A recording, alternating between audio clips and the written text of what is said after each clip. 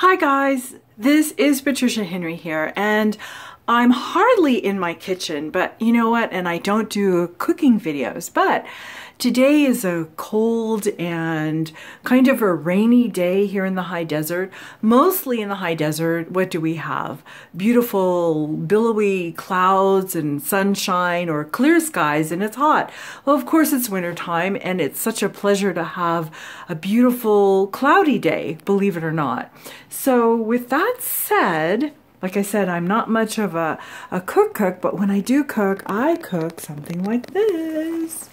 Mmm, I'm cooking beans with um, some uh, meat. Actually, what is the meat? I don't even know, but it's seasoned, it's um, smoked, and I'm cooking that up, and it smells so good.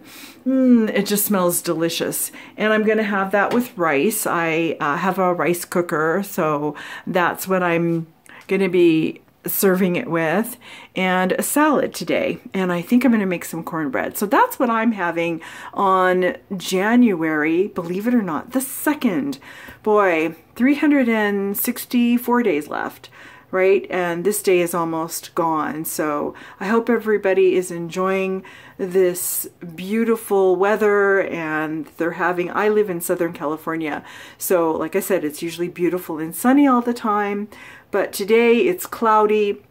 My husband is helping a friend um, repair their house. So when he comes home, I'm going to have a beautiful dinner for him. So now I got to finish. I got to make the salad and I'm going to make the cornbread and I just might show you what it looks like after it's all done. All right, bye guys. Thanks for joining me.